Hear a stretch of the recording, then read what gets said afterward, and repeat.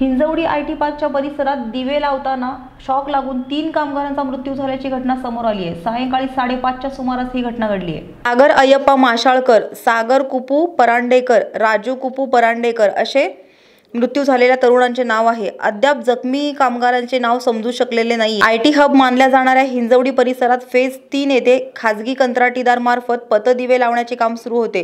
तिघांसह आणखीन एक कामगार लोखंडी रोलर शिडीद्वारे पतदिवे लावण्याचे काम करत होते. दरम्यान पतदिवे लावून उंच शिडी ढकलत पुढे घेऊन जात असताना विद्युत तारेला शिडीचा धक्का लागला आणि वीज प्रवाह लोखंडी शिडीतून उतरून चार कामगारांना शॉक लागलाय. या दुर्दैवी घटनेत तीन कामगारांचा जागीच मृत्यू झाला असून एक जण गंभीर जखमी झालाय. मृत्यू झालेल्या कामगारांमध्ये दोन सख्ख्या भावांचा समावेश आहे. याची माहिती मिळताच हिंजवडी पोलिसांनी घटनास्थळी धाव घेतली आहे